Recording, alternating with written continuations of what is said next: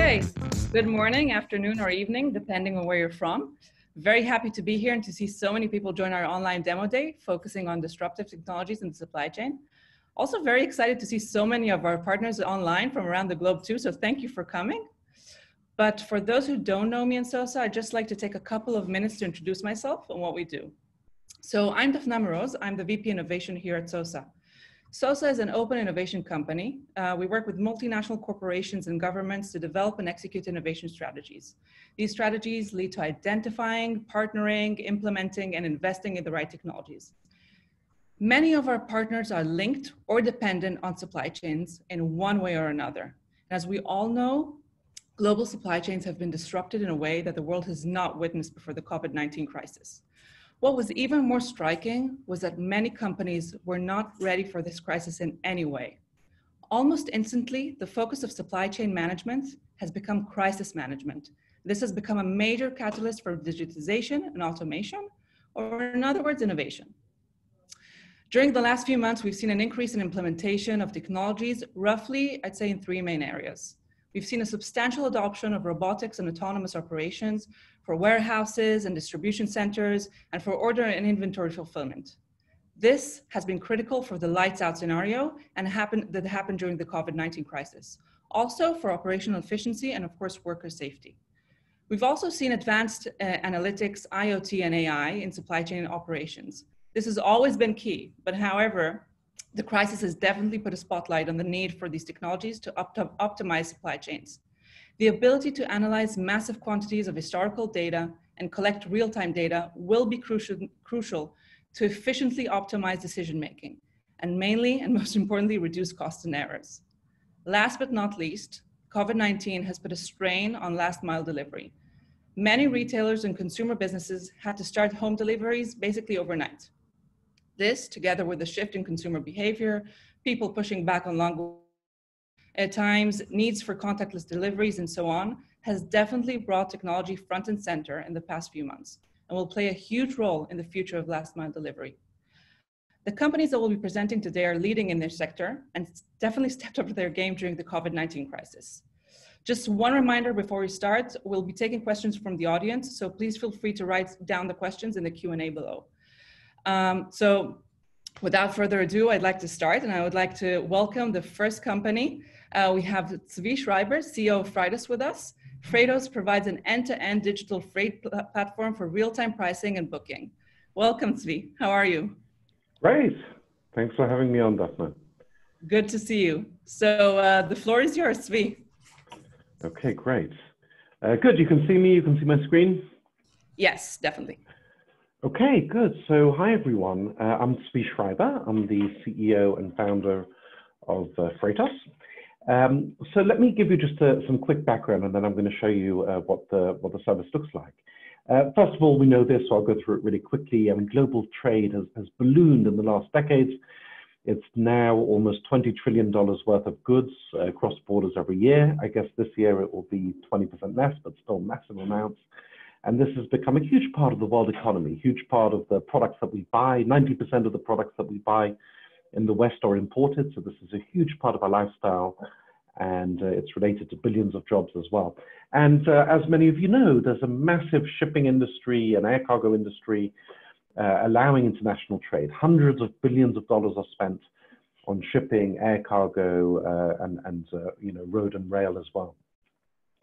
Now, I discovered uh, what a old-fashioned industry this is. So um, I'm a software entrepreneur. I've had some software exits before, but in 2010, 2011, I actually managed a hardware company for the only time in my life, a company called Lightech. We made this little product here, which goes in the ceiling. It, it powers LED lights. And um, we produced them in Shenzhen, China. And every day we were shipping these things by ocean and by air from China, mainly to the US and to Europe. And you know, the first time I did this, I thought that, that an international shipment shipping a container would be like booking a flight you know, for 20 years already, if you want to book a flight, it's easy. Well, not so much right now, but other than this year, you go on a website, you see all the options, you choose, you book. Um, really very, very simple, very, very transparent. But in this industry, I discovered, and then later at Freightos, we did a lot of research to confirm what I'm telling you, There's often a 30% price spread, but sometimes as much as 100%. Two containers sitting next to each other will have a very different price. It can take two or three days. Still today, if you're not using Freightos, you call up a freight forwarder, a simple price quote will take an average of three days, believe it or not. When you get the invoice, it doesn't ma match the price quote anyway. Uh, and um, everything's managed in spreadsheets. And I discovered later at Freightos that the, the, the, reason behind this is structural. So you've got the actual importers and exporters who are buying the service. Um, you've got about 100,000 freight forwarders in the world, 100,000, starting from the very big ones who do tens of billions, right down to the little ones. And in a given transaction between the forwarder and the actual carrier, the carrier here is the ship owner, the airline, the, the trucking company, that there's often one or two or three intermediaries. Um, the problem being that a lot of the communication back and forth is, uh, is manual. So you, you end up with a very sort of last century kind of experience where the prices are, everything's slow, everything's manual, everything's opaque. So the vision of Freightos is to make global trade frictionless by, by giving the same digital freight experience in the same way that international travel has become frictionless, again, outside of the COVID crisis, you know, based on the, the fact that travel has become digital. So what, what I propose to do in the next uh, four minutes or so is to show you the product and then say just a, a few words about what's behind it. So let me see if I can switch to, okay. All right, good. So I'll just repeat the search so you can see it. So this is a public site. This is the Freightos site, uh, uh, Freightos.com. And so you're welcome to try this for yourselves. And um, I'm, um, I'm here an importer, let's say an American importer, and I've got, maybe I've got two containers, which are 40 foot. And uh, I'm going to get them from, let's say, from China. This was a search I did before. I'm going to change it now. So I need to get these containers from the port of Shanghai, uh, pick up on Monday, and I need to get it all the way to my warehouse in San Francisco. And I need the customs clearance. Um, I don't need a customs bond, and I need insurance. Okay, so and my goods are worth, let's say, twenty-five thousand dollars would be sort of fairly typical, typical, I guess. Um, so what you're seeing now is an experience. We've all had this in retail and passenger travel. We've had this kind of experience for, for 20 years almost. Um, but in our industry, this is a complete revolution. This is the only site um, really where you can instantly get price quotes. You can see I've already got 68 price quotes, 80 price quotes uh, for shipping uh, a few containers from the port of Shanghai to San Francisco. Um, and now as they come, I can see what's the best value, what's the cheapest, what's the quickest, what's the greenest in terms of carbon footprints. Um, I have here offers from very small freight forwarders like Freightrite, from big uh, multi-billion dollar forwarders like ECU Line. I've got a Chinese forwarders and American forwarders. I can see the reviews. Um, I can see the full uh, routing if I want. So I can see this is going from Shanghai to Oakland, Here's the price from Shanghai to Oakland uh, port, and then destination charges, and then the truck from Oakland to San Francisco. So we've automated all of the routing and all of the pricing. Uh, and I can go ahead and book online and pay online. I can pay now, uh, or I can apply for credit. I think we've got some banks in the audience today, so a big part of what we have to do is not just uh, all of this freight pricing, but also collecting the money, between the buyer and seller, often different currencies. The buyer often often wants credit. Um, the seller seller always wants to be paid yesterday. Um, so that's the experience. And then once I, you know, once I do that, um, on if I just go back to the presentation for a second, um, once I book in Freightos, of course, I manage the whole shipment, not in Excel, but in Freightos as well. So we give a whole experience uh, for shipping. So let me just tell you a little bit about our strategy um, in the next couple of minutes. Uh, so we have we, really replicated the model of passenger travel, but there was a huge problem. So in passenger travel, when Expedia and Orbitz and Priceline and Booking, when they launched, they did the consumer side, but all of the back end was already done. There were these companies, Sabre and Amadeus, big companies who've been around for decades. And then uh, the routing was done by ITA. Um, and so all of the background was there. In freight, there's no such thing. So Freightos really, uh, we're quite a complicated startup.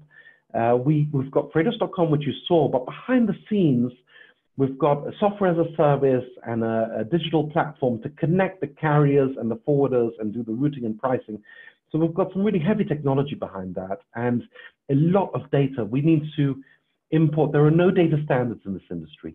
We import every day hundreds of Excel sheets. In total, we've got billions of price points, most of which still come out of Excel sheets that we have to ingest. So a very heavy interest. Just to give you a quick idea, whoops, um, just to give you a quick idea of the infrastructure, we have our two platforms, Freightos.com, which you saw, which um, connects the importers and exporters to the forwarders, and we have a subsidiary called WebCargo, which connects the forwarders to the carriers. We offer software as a service at every stage. And then also coming out of all of this, we have a data business. So we produce some indexes. we have in partnership with the with this uh, Baltic Exchange, which is part of the Singapore Exchange, we produce the leading index for prices uh, with plans to move that towards actual derivatives. So in, in future, you'll be able to hedge the price of a container shipping, just like you can hedge the price of uh, oil. Uh, just to give you a little bit idea of our customer base, so we work with thousands of importers and exporters, mostly smaller importers. We have a, um, a, major partnership now with Alibaba. We are the shipping partner for their B2B site, alibaba.com. We work with 1,800 forwarders, including these, uh, these are just a few examples of the big multi-billion dollar freight forwarders who are using our technology. And we work with carriers, particularly strong on the airline side.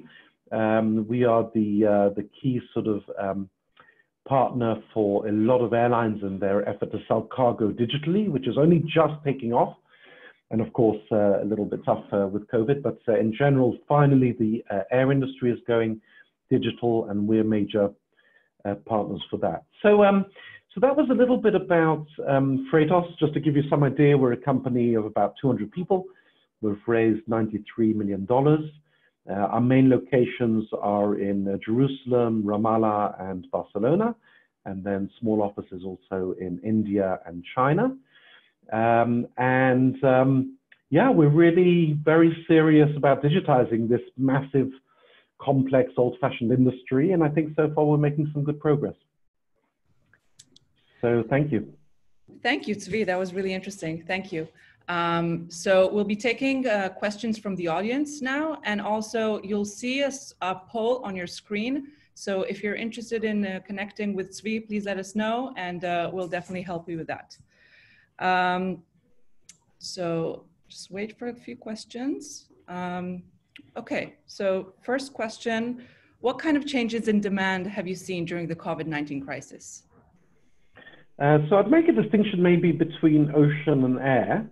Uh, demand has not, not been changed too much, except of course during uh, sort of February, March, because the China was closed down and a lot of the imports are from China. So China was closed down for Chinese New Year and for two or three weeks afterwards. So during that month, there was very little shipping going on.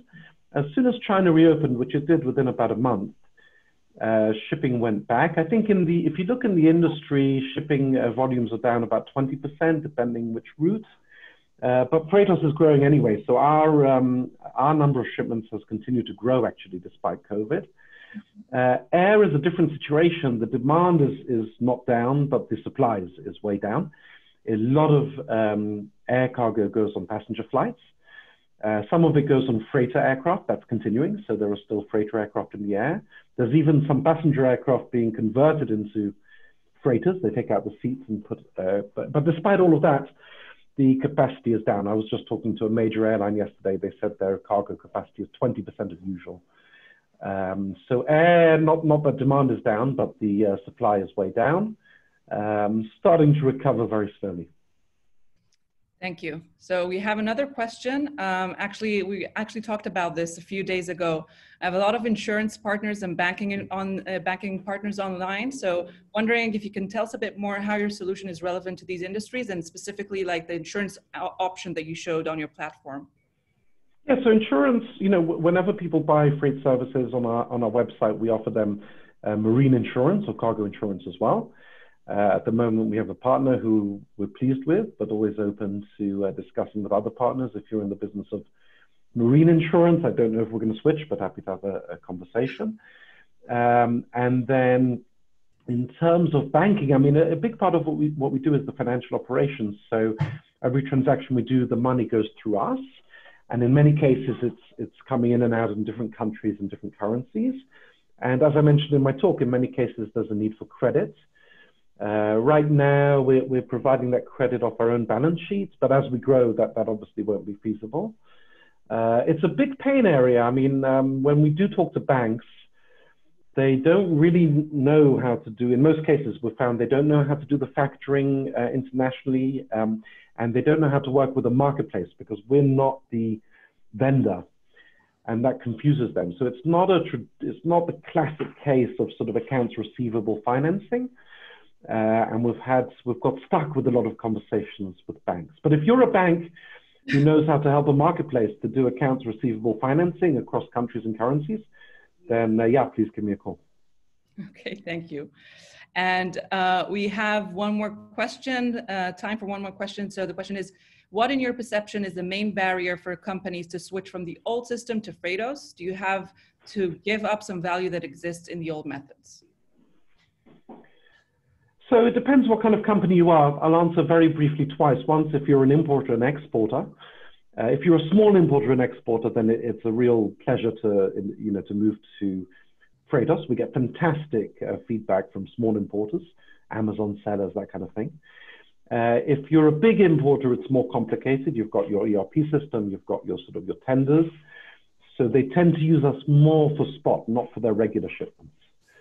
Um, in terms of the providers, the big freight forwarders, the airlines, um, those are big projects. They're very successful and they've created a lot of value, but it, it takes a forwarder months, in some cases up to two years, to switch if they've got if they're very big, to really switch onto Freightos and really automate their pricing. Okay, thank you very much, Zvi. It was really interesting. And uh, if anyone has any other questions, please feel free to reach out to us and we'll make sure to facilitate the questions. So thank you very much, Zvi. Thanks. Bye, Bye. everyone. Okay, so next up, uh, we have Bringg. We have Nikolai Avrutov, VP Alliances from Bringg. Bringg is a delivery logistics platform for the enterprise and currently actually also for the SMB market. Pretty sure many of the people online know who Bringg is. Uh, so Nikolai, how are you? I'm good. How are you? Good, Very good. good to be here, good. Daphna. Thank you. So the floor is yours. Many thanks. Me share my screen. And let's dive in. So thank you for hosting us here. Uh, very excited to represent Bringg uh, on this uh, on this webinar.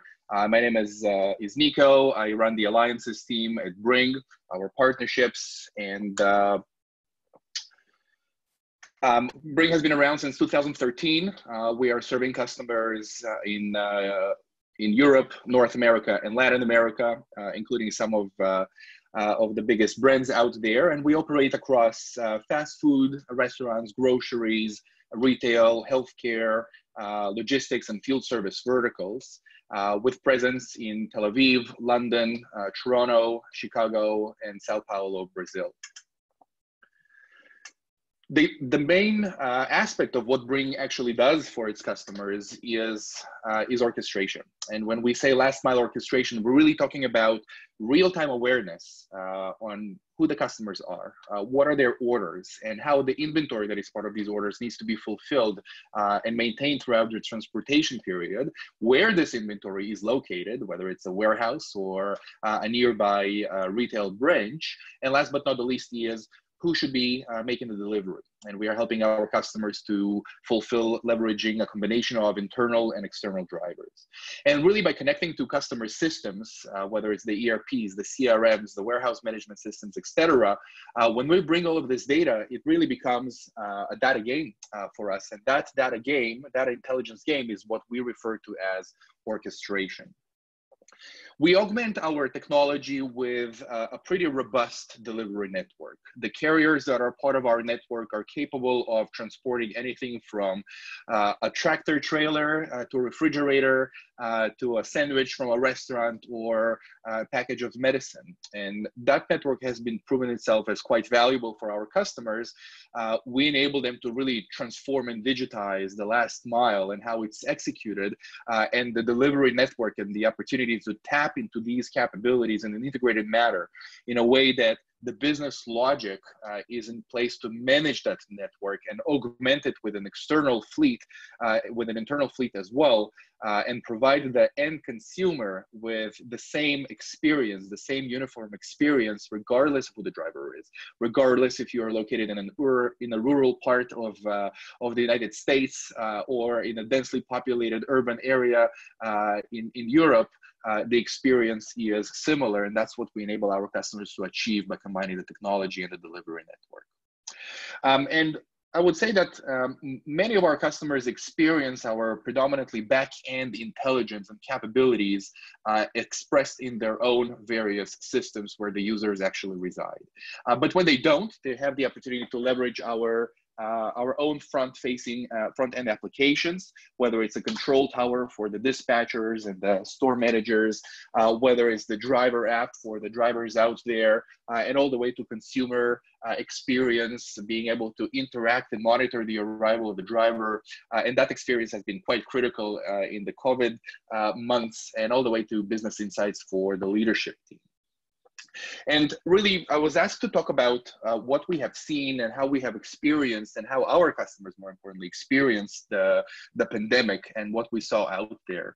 Um, and really, it's been it's been such an such an such an interesting journey uh, in which the one the three common denominators across our customers is uh, the realization that they need to be able to do more with less uh, less employees available uh, some of their workforce is out of commission or reduced and uh, no longer there uh, to fulfill on the orders. Uh, at the same time, uh, for, for the relevant verticals, uh, the volume spiked dramatically, uh, literally overnight. And all of a sudden, you need to be able to respond to that very elastically in a very short period of time uh, to manage that delivery capacity. And we, when our customers think about it, it's both the ability to instantaneously respond to a 500 percentage growth uh, in the in the needed capacity uh, in one period of time, and then to scale down when less necessary. And last but not the least uh, is safety.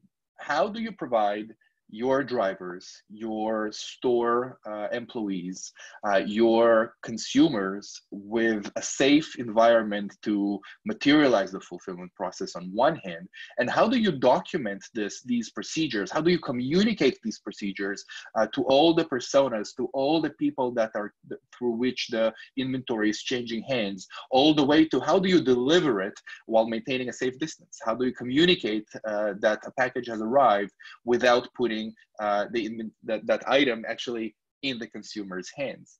Uh, and that's where a lot of the different capabilities that our modular system is really making available was a great opportunity for our customers to leverage uh, it on a completely new level. Uh, whether it's dispatch automation, so there's less manual uh, processes all throughout. Uh, the criticality of just-in-time order preparation. Uh, it used to be super critical for uh, for a fast food chain delivering French fries, which apparently have a seven-minute shelf life. So you really want to pull it out and hand to a driver when the driver arrives, and not 20 minutes before. But that just-in-time order prep became so much more critical when you all of a sudden realize that there's no foot traffic into your store and you need to not only deliver to customers' homes, but you also need to uh, materialize uh, buy online pickup uh, in store capabilities or curbside pickup. Uh, so these are capabilities that were uh, extremely important to be able to do more with less. On the delivery capacity, it goes without saying that being able to uh, deploy an app that is easy to be uh, adopted by volunteer workers in some of the initiatives where we ran uh, for uh, elderly populations or populations at risk where volunteers of all sorts come on board and, and start handling deliveries. How do you make sure that they get all the needed information and they onboard quickly and rapidly? But at the same time how do you augment that internal uh, fleet of yours with third party deliveries? And how do you uh, you know, no, no single carrier is able to cater to a nationwide uh, demand. So how do you make sure that you provide the same experience both to those drivers as well as to the consumers wherever they are? And how do you make sure that your routes are as optimal as possible uh, as to be able to execute fast? And finally, on the safety side, there was a lot of focus on um, how to enable contactless delivery and how do you do it in a way that is documented, uh, communicated in real time uh, by the driver to the driver and to the consumer? Uh, how do you capture the needed information and how do you maintain the stability of your chain of custody process where uh, you all of a sudden avoid uh, encountering the consumer uh, who receives that final parcel or that package or that food delivery or that medicine face to face? So one of our responses, and Bringg is predominantly an enterprise-facing uh, uh, company. Uh, one of the things that we did very early on is to release a scaled down or the bare basics of what's needed to start delivering capabilities to SMB market. And that was Bringg Now. It's an initiative that we've been brewing internally for a while, and we're planning to release it later on this year. Uh, but the pandemic really sped things up, and Bringg Now is a completely free offering uh, that allows to start delivering in a matter of hours, uh, leveraging internal fleets with the driver app, uh, as well as leveraging a couple of external uh, delivery uh, care providers that are integrated into the system. Uh, and that was quite quite beneficial not only for SMBs but also for various uh, volunteer initiatives uh, in Israel, in the United Kingdom, uh, as well as across the United States, where um, sometimes completely completely new, out of nowhere uh, formations of groups of people that just wanted to help, that just wanted to do the right thing for their community. Uh, this was a very powerful tool that really materialized this. Uh, and um, as a, for an organization as a whole, and for me personally, that uh, that that gave us a lot of sense of pride of actually being able to help not only our enterprise, commercial customers, but also the community as a whole. But uh, for for the main line of business, um, it really sped up and, and, and made very visible uh, the capabilities that are less obvious. Um, everybody know we can deliver in the last mile and everybody know we can do it effectively. Uh, but there are so many new capabilities that uh, that are top of mind for customers. So curbside pickup, uh, it's one thing if you have three, four customers that are coming in uh, or standing by your door and expecting a delivery, but how do you operate an effective curbside pickup at scale? How do you service hundreds or thousands of customers in your location without creating a traffic jam, without having too many people having to walk around and encountering each other and coming close to one another? How do you manage a curbside pickup operation in a way that is clear, easy to understand, not only to the consumer, but also to your store employees of whom you are responsible for their safety? Uh, the other one is touchless delivery. So that entire process of communicating in real time to the consumer uh, where the driver is and how soon that driver is going to arrive in real time with map view visibility. And then leaving the package at the front door, taking a picture of it, uh, and communicating it to the customer through the correct channel, whether it's an SMS, an email, uh, or any of the other omni-channel capabilities. Uh, how do you communicate in a way that is documented, that is real time, uh, that is relevant, and not an afterthought, uh, and really build it as part of your uh, chain of custody process. And really what we're seeing uh, through the pandemic is a dramatic acceleration of trends that we have been uh, exploring for uh, or monitoring in the market for quite a while. Um, an interesting figure, I hope I'm not confusing the numbers too much, but if I'm not mistaken, last week, uh, a quarter of grocery purchases in the US uh, were done online. Half of these purchases uh, half of the people made who made these purchases did it for the first time. And with that in mind, uh, the velocity of these online uh, purchasing behaviors really speeding up uh, a few new, completely new fulfillment models that we have seen in the market and we have been supporting in the market for, for a while, but the, the adoption is just so much dramatically faster. Uh, customer prioritization, how some, some of our customers have decided to prioritize uh, grocery delivery for uh, elderly uh, customers, for example. So when you are facing a two, three, uh, four week, depending on which country you are, uh, wait time for your grocery delivery, prioritizing the right populations, not necessarily uh, driven by commercial uh, uh, considerations, uh, is so so so top of mind. Uh, drive-through or um, or curbside pickup is another trend, uh, but also realizing that so many retail, so much retail space is losing its relevancy with negligible foot traffic coming in, how do you make sure that you leverage this real estate uh, in the most product, productive manner? So the notion of dark stores, dark kitchens, uh, micro fulfillment centers, converting your real estate to any one of these uh, really calls for a whole new way of how you execute your last mile fulfillment. Uh, how do you realize what will be more effective to deliver from your nearby fulfillment center or from the nearby uh, micro fulfillment center, which which used to be your store, uh, and of course the multi-fleet management, uh, as I articulated before.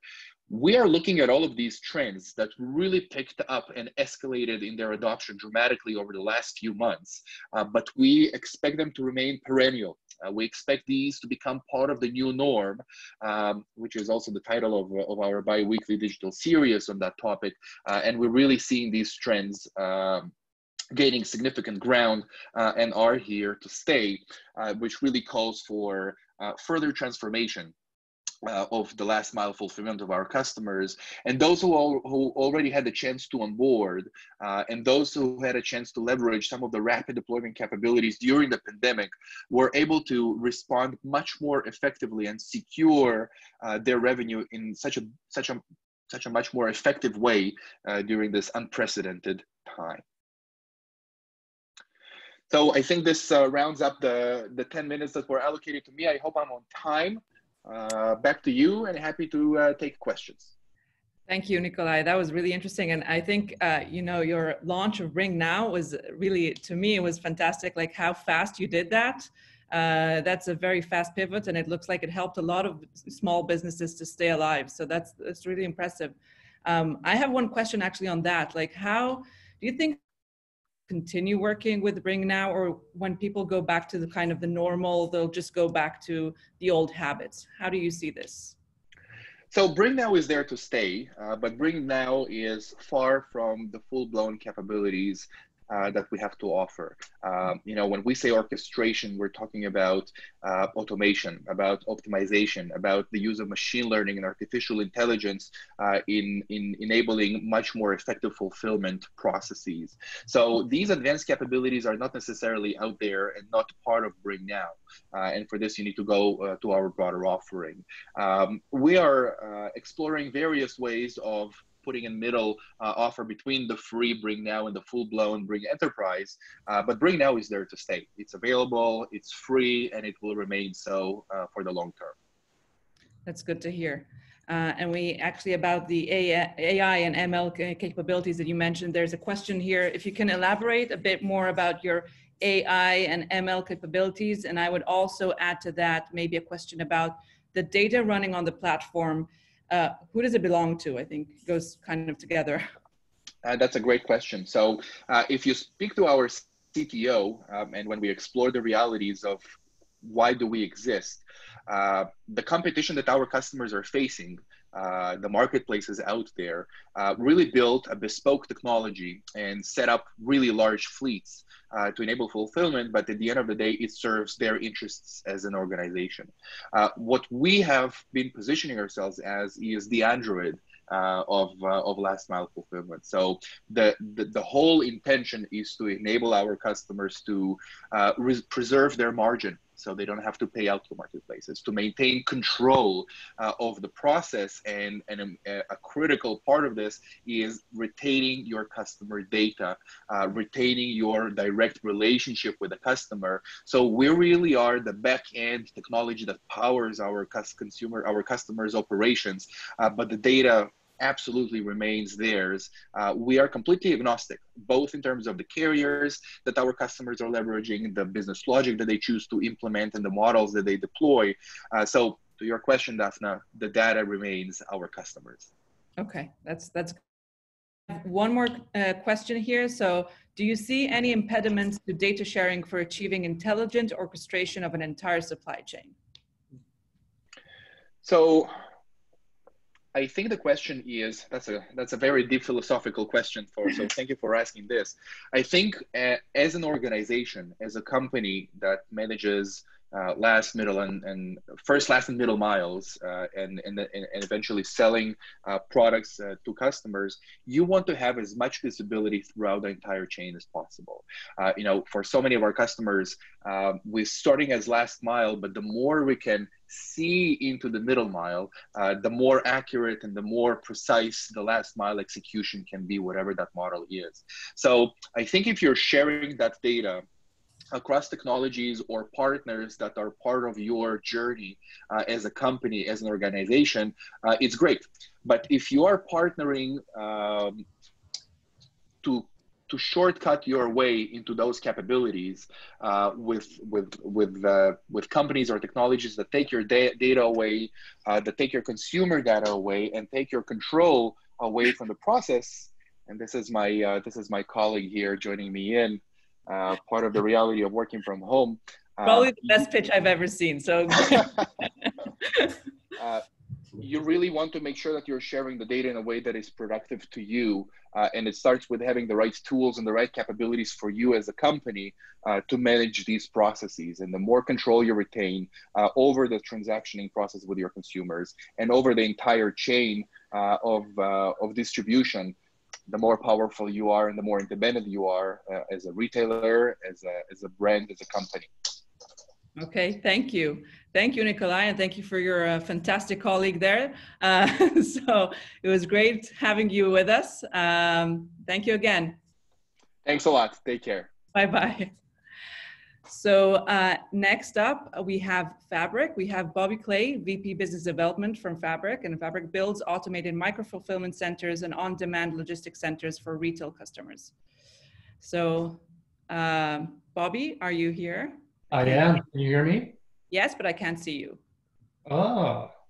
Okay. Yes. I'm trying to share my, I'm trying to turn on my video and it won't allow me to do that, interestingly. Um, what does it say? It says the host. Okay, now it says I can start it. Thank you. good. So, how are you, Bobby? I am very well. How are you? Good, good. Thank you for joining us. So, uh, again, take it away from here. Okay, hopefully, you guys can see my screen as well as hear me. Yes. Okay, so good afternoon, uh, everyone.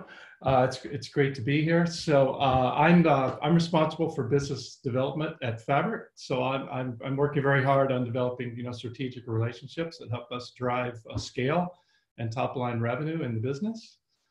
Um, we are uh, an Israeli startup. Um, we, um, we got started about, about five years ago. Um, we, we've had some interesting things happen just in the last six or eight months. So we um, first thing is, uh, we changed the name of our company back in October. We used to be known as Common Sense Robotics, uh, and we obviously changed the name to Fabric. And you might ask why. Um, the, the number one reason is we're a software company, right? And so it's it's tough to be known as a software company with robots in your name. So uh, the robots are really cool, uh, but the real magic is in the software. And so since about October, we've been known we've been known as Fabric. Um, we also, uh, in the fall of last year, we finished, we, we did a Series B round of funding. We raised a little over 110 million. Uh, and the clear uh, direction from our venture capitalists was, you guys are doing some great things in Israel, but you've got to get focused on the United States market. So we, uh, we moved headquarters to New York City. And so our commercial operation is based in the US. Our development organization remains in, in, in Tel Aviv and, and, and always will. And um, we just uh, really quickly, um, we got started as sort of an owner operator, right? So we, we're in this business of micro fulfillment, which I'll explain in a minute. Uh, but we, our first two customers are actually in Tel Aviv. Um, and they are the, um, the largest uh, um, what we call a drugstore in the US, drugstore re retailer uh, in, in Israel, and then the second largest grocery chain in Israel. And we, we actually uh, own and operate the micro fulfillment centers uh, uh for, for those two companies in Israel. So a little bit about uh, what we're all about. So what, what, our company is really founded on is this, you know, this, um, the way we've been conditioned primarily by Amazon, right? As as consumers, we have in a pretty short amount of time, you know, what two or three years, we've we've become conditioned to expect that we can pretty much order anything we want from the from the convenience of our home. And oh, by the way, it should be delivered for free, and we can pretty much get it same day now. Uh, that's pretty cool for all of us as consumers. That's a huge challenge for every other retailer on the planet, though, right? And so um, every other retailer, every other retailer struggles with two things, right? How in the world can they do that? Uh, and it, you know deliver same day, not much less, you know, in an hour or two. And by the way, how can they make money at it? Um, and so that's what that's what we're all about. This this idea of making that possible and profitable. And so if, if you look, if you think about what it takes to do that, there really two, you know, if you're a retailer, uh, you know, whether you're in grocery or whether you're in, you know, consumer electronics, you know, how do you deal with this idea of on-demand e-commerce? How can I profitably allow my customers to order online and deliver it to them within a, within an hour or two? And I would submit that there are really only two variables that matter, and that is how do you do that and where do you do it? And so on the house side, you basically have two options. Are you going to do it manually or are you going to automate it? And in terms of where are you going to do it, are you going to do it with the, with the traditional, you know, retail supply chain, which is very, you know, centralized, or are you going to do it locally? And since I only have 10 minutes, I'll cut to the chase. I'll tell you the answer is the only way you can do it is automated and local. And so in so since the since the solution is automated local, um, the way you uh, do it is this term this this new term called micro fulfillment, right? And so it's this idea of having small scale automated warehouses that can actually be located at the store. The beauty of that is, um, a you've got to be local you know, for a couple of reasons, right? You, you, uh, you got to be close to the customer. First of all, you can't get the, uh, the items to them within an hour. And secondly, if you're not close to them, the last mile costs will kill you, right? So you, you, you, you, you've got to be local. And then of course, if you're gonna bring your costs down, you've got to automate it. Uh, so this idea of micro fulfillment is this small scale, you know, automated uh, warehouse that literally can fit in the back of the store. The beauty of the, the stores for the retailers is you know they've made the investment in that already right and so they're already close to the customer so uh, if you can if you can have something that can fit in the back of the store and so for instance a micro our micro fulfillment center uh, it, it's very elastic uh, you can make it as big as you want but you can also make it as small as you want it can fit in as little as 4000 square feet so you know, most any, and, and oh, by the way, you only need a clear ceiling height of 16 feet. So most retail stores, you know, can find that amount of space uh, in, in the back of, in the back of their store. And the, the beauty of it is, of course, you cut down your last mile costs. Uh, you're able to deliver because you're, you know, within an hour because you're close by. And the other really, really important thing is it allows you to do that without wrecking your in-store experience for your customers that still like to come into the store. You know, ironically, the the the one the one advantage that all other retailers have over Amazon is that they have, you know, customers can come in and shop in the store. And you know what has happened recently in the absence of micro fulfillment is they've got either their employees or third party uh, people running through the store doing the shopping for the online e-commerce. And that of course is killing the um, you know the in-store experience. So micro fulfillment addresses all, all of those issues. So what what what is it about fabrics micro fulfillment uh, you know that, that's so special?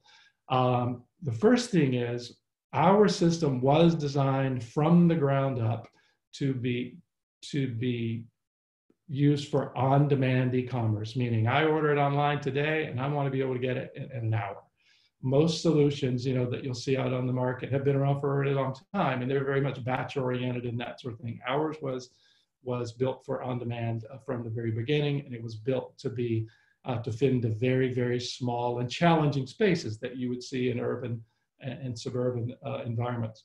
The second thing is it was built to enable uh, retailers to uh, to actually be profitable at this game by the way, virtually every retailer out there that's doing online e-commerce today is literally losing losing money on on every transaction.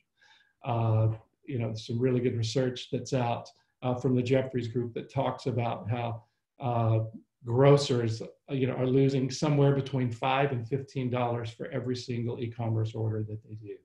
Uh, so it's crazy. Um, so the beauty of our solution is because it's it can fit in a small space. It's very elastic. You can you can scale it up or down, uh, and so it can give the customer profitable unit economics really at any size. You know whether they only need to do maybe 100 orders a day or, or whether they need to do a thousand orders a day. Uh, it, it, it can give them uh, the same unit economics. And then the, the, the third real advantage of our solution is is it is it reduces the risk for the retailers right? If you're if, if you're a retailer now and you're thinking how in the world am i going to build you know, how am i going to address this whole e-commerce thing? How am i going to do it quickly? And how do i know it's going to work? And gee it's a huge investment.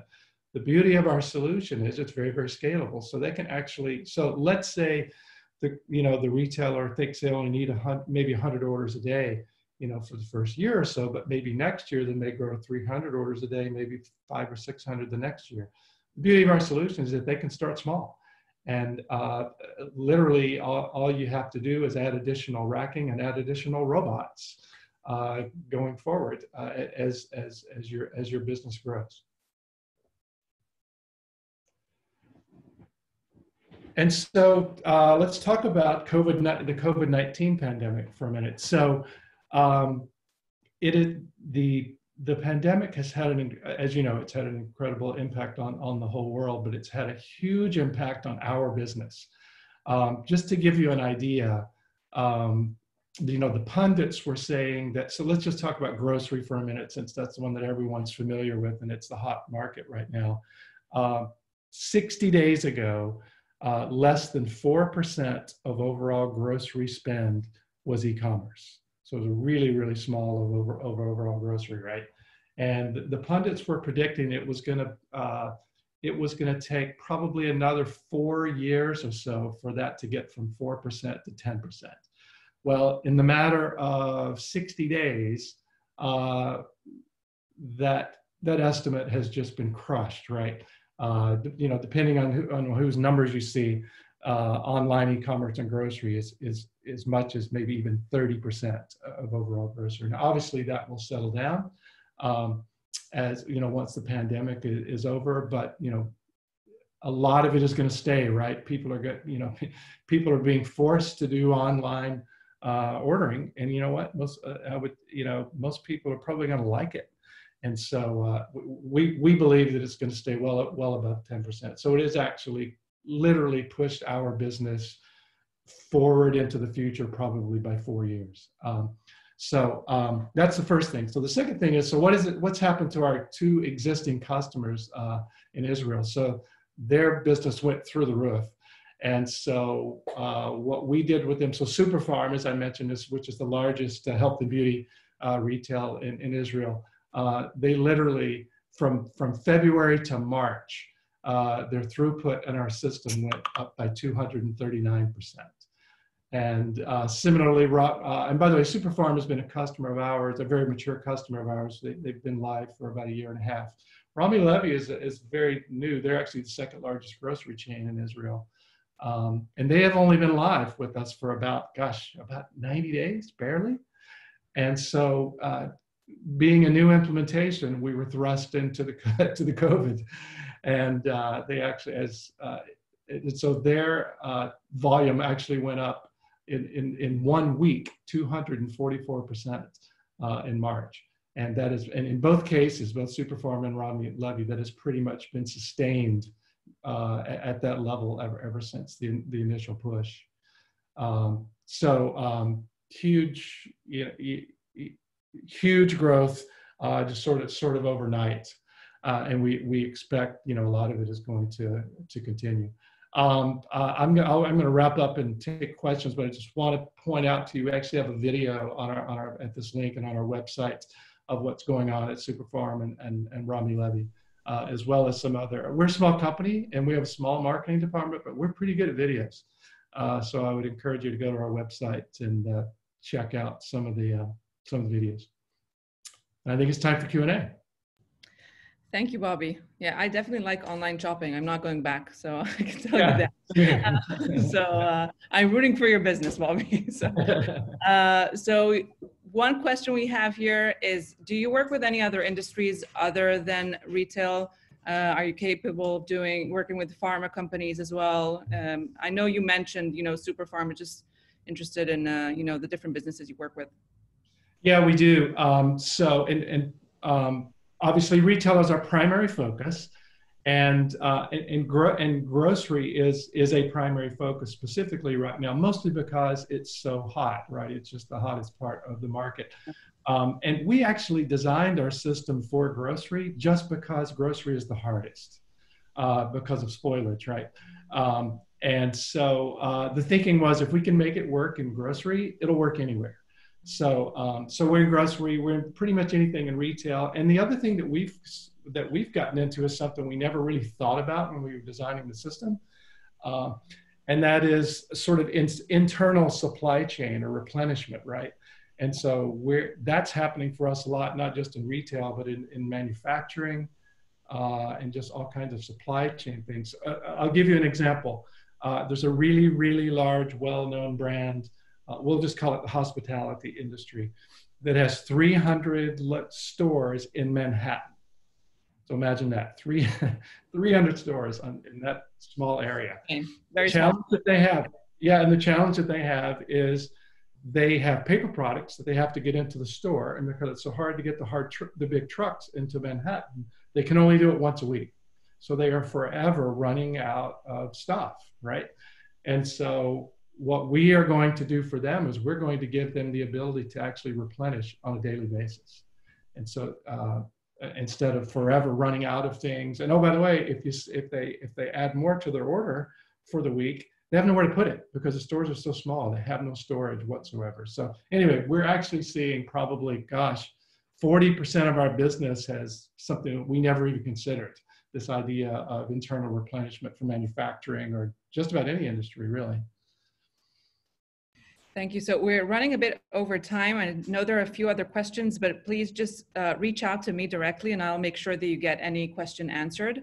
Uh, but thank you very much, Bobby. And uh, we'll make sure to, to send you these questions so people can get the answers they're looking for. Um, so thank you again, Bobby. Thank you. Okay, really thank you very much. Pleasure having you here. Thank you. So last but not least, uh, we have 3D Signals with us. Uh, Jonathan Yuval, VP Sales of 3D Signals. Uh, they help manufacturers digitize their machines to become an industry 4.0 factory of the future. So, Jonathan, we just can't see you. Yeah, you need to turn on the uh, my camera. Just one second. Trying to. Let me know if it works for you. You do now. Try now again. Perfect. Okay, so we can okay. see you. Everybody sees me. Yes. Yes. Definitely. Perfect. So I, Hi, everybody. I'll try to be quick. Uh, and um, so we are 3D Signals. We operate out of Israel and Germany. Um, and we are uh, basically, uh, we are in a supply chain um, arena. So we are uh, basically focusing on the first stage of, uh, of uh, the supply chain, which is manufacturing. So what I'm going to show you is our solution in terms of collecting data from the manufacturing floors and how to use it. Um, so let's start. Uh, the next uh, video is going to be uh, the, the, reaction that we get from our customers after the first day of installation. Let me see if it works. Yeah. Got the baby's first pair of glasses. He already hates it. Christian. Christian. Open your eyes, buddy. Hi. Hi. Hi. Hey, Munchkin. you like, you like them? All right. so, um, so where's the challenge? The challenge in the market is that we have a lot of companies that are manufacturing very good stuff and they are uh, really good in uh, manufacturing, but the problem is that they have no, uh, there is no data to, uh, in order to be more efficient. And, and, also to start the process of, uh, of uh, logistics. So the questions that we ask our customers are very simple. Are, do you know in real time if your machines are really working, if they are working as planned? You know where your bottlenecks are? Is, is your shifts, are your shifts um, uh, efficient as you, as you think they are? And are you optimizing your production? So these are the challenges in every industry. When we talk about industry four, which is the current buzzword, all the analysts are talking about AI, predictive maintenance, self-optimization. But in reality, when you go to the shop floor, the problem is trying to connect everything together. So there's a huge gap between what is said in the market and what is really happening.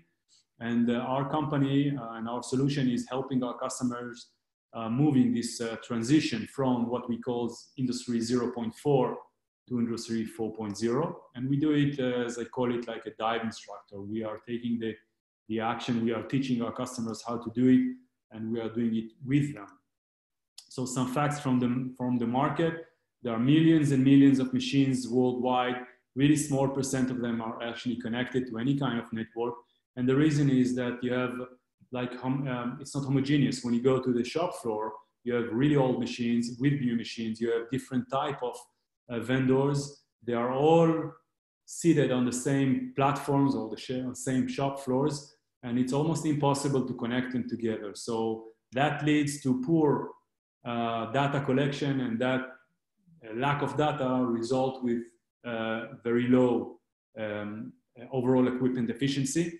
So that's that's a problem in the market. And now, when we have this uh, COVID-19 pandemic, we have uh, even even worse conditions where managers have to stay at home and they have factories around the globe that some of them are really working and some of them are not. It's hard to take decisions. Um, it's very hard to keep the efficiency uh, going on.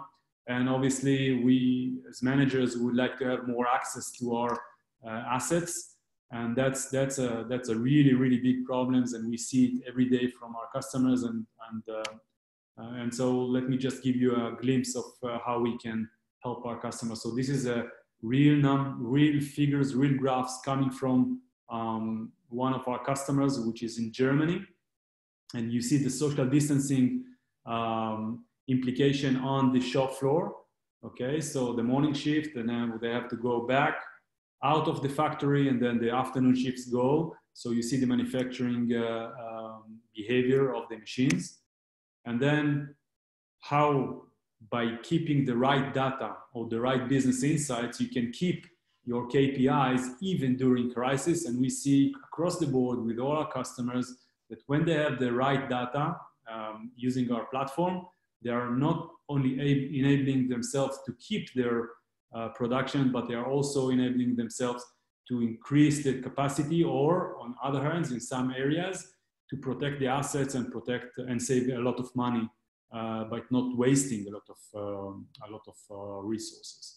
So this is what we do. We place a, um, a data acquisition uh, platform on the machine in a non-invasive way.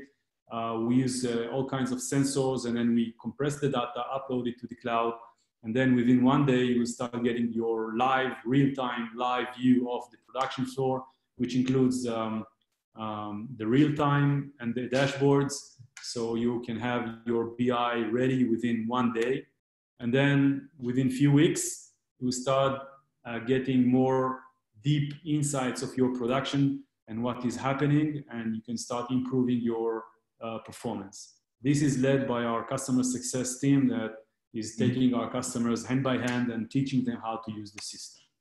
This is how the system looks like. As you can see, it's non-invasive sensors that is placed over the machines and not connecting to the machine controller. This is making it uh, machine agnostic and it also enables us to uh, install very, very quickly. So it takes about 45 minutes to one hour to install on a machine. So within one day, we're one day or a few days, we're uh, connecting the entire factory. So reflecting back to the child, then you start getting the data. And when you get the data, you become happy because if you can measure things, you can actually improve them. And it doesn't really matter if you have the reports on your PC or your uh, mobile phone, or if you put a big screen on the shop floor so everybody can see everything. The point is that when you have the right data and the right insights, it's easy to improve. So just to summarize this part, it's a plug and play solution. Insights come very fast. We're machine agnostic. We can actually connect any type of machine. Um, it's very accurate. It's very secure because we don't connect to the actual production controller. So we are just sniffing the machine. And it's a cloud-based software, so we get more and more value while we are generating more and more insights. Uh, looking at the same uh, solution via the ERP uh, solution. So, you know, ERP platforms are very good in a lot of things like planning, logistics, warehousing, human resource, finance, and everything. But what's happening on the shop floor, it's like a black box for them. So we are shedding light on that area and we are enabling ERP companies to get um, uh, real-time data from the shop floor and by that helping them um, to, uh, to get more accurate and uh, improve their ETAs. So Samson AG is a German company. Basically, it's a global company based in, in headquarters in uh, Germany, Frankfurt. Um, 18 sites around the world. Um, we are installed in five locations, over 100 machines, and we are serving everybody in the organization from the CEO all the way down to the operator. Uh, some facts from the, from, uh, from the company. So you see on the left, an early adopter, flow manager, we immediately um, adopted our system and improved his performance immensely within uh, four months and then uh, uh, one year. So he's exceeding his, his, his KPIs by far now, and the entire factory followed through. And now we see huge increase in productivity, even though they are uh, experiencing the COVID-19 pandemic and they're still improving the numbers. Direct savings are coming from our, one of our tools, which is optimizing the production. So you can actually go and see where you're wasting money or wasting resources. So you can save um, shifts, you can save human resource, you can save machine time, and also you can save electricity. Sorry. Uh, we have this alert system in our, in our uh, solution that will give you alert when the machine is staying idle for too long or uh, should be uh, turned off. So you just go and save a lot of money. So especially in Europe, when you have to show that you are saving uh, your energy, um, that's improving your overall performance. Uh, some facts about us. Established in October 2015, raised $26 million today with patents um, uh, that is about acoustics and uh, signal processing. Um, we just won the Red Herring Top 100 uh, Europe um, uh, award, and we are members of the Open Industry 4 Alliance. Um, we're already installed in Europe in 11 sites in Germany, and uh, one in the US, one in Turkey, one in Israel, and uh, we keep on pushing forward. We see no slowdown throughout this uh, pandemic because our solution is really, really helping our customers to get more visibility and control of their uh, assets. Um, as I said before, we are machine agnostic, so we are able to connect huge number of vendors, of machines, almost everything. Um, and that's it.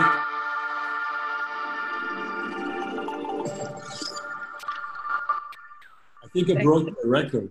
Right, Daphna? Sorry? I think I broke a record that being very fast, right? Yes, that was very fast and very interesting. Thank you for that.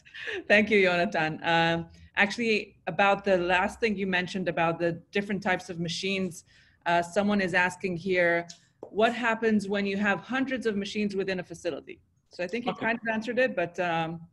Sure. Um, so when you talk about hundreds of machines, uh, we talk about different uh, subjects. So there, are, when you have hundreds of machines, you have lot, a lot of number of vendors. So we are able to connect to all of them. And there, the next question would probably be, each machine is doing something different. Um, so we are measuring basic information from the machines. So the, the uh, I would say the, uh, common ground would be availability, which means on, off, idle. And from that, we're starting to collect more and more data and more insight. So we are providing this tool that will enable the, uh, let's say, from the CEO to the COO uh, understand how well the production is optimized. Okay, so it's not a problem for us uh, connecting uh, any any number of machines and and any type of machines. Perfect. Um, okay. I see the next Yeah. question is what type of sensors? yes. Okay, so we are uh, using different type of sensors. So previously it was more uh, about acoustics, but now we are um, um, using different and, and combination of sensors. So it could be acoustic, could be vibration, could be current sensors, or basically any type of sensors that will provide us the data that we need to collect. So for the customer side, it's a, it's a plug and play. They don't need to uh, to um, um, say be aware of which sensor we use. We, we, we choose the sensors and we, we from the customer side it's the, it's the data or the insights that is important. Yeah. Okay. Uh, thank you very much, Yuval. Hey, Jonathan, sorry. Apologies.